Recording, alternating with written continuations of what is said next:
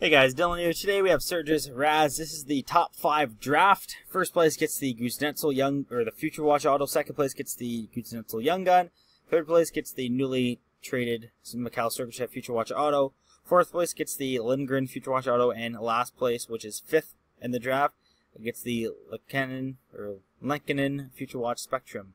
So top five after three all win a card. Good luck guys. Seb's in spot 1 and 20. We're going to copy the list. We're going to come down here. And we are going to go live.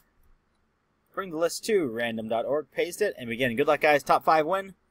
We have Norman after one, Norman after two, double zero seventeen and ten is the second random. We got eight seventeen p.m. It is eight seventeen, June sixteenth, and the top five.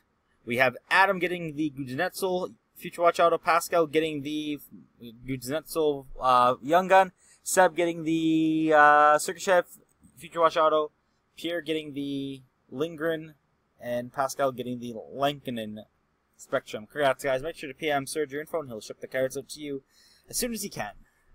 It is 817. We've got 817. Once again, that is our, our top five. Congrats, guys. Once again, please PM Serge your info, and he will be shipping your cards out as soon as possible.